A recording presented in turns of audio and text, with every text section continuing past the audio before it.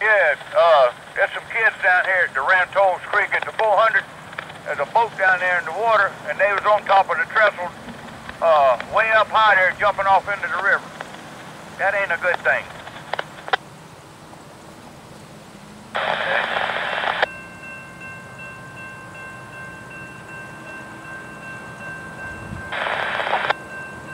tried to call Florence, but George didn't answer, so I don't know what he's doing. Yeah. Okay. I did call the wildlife department. I don't know.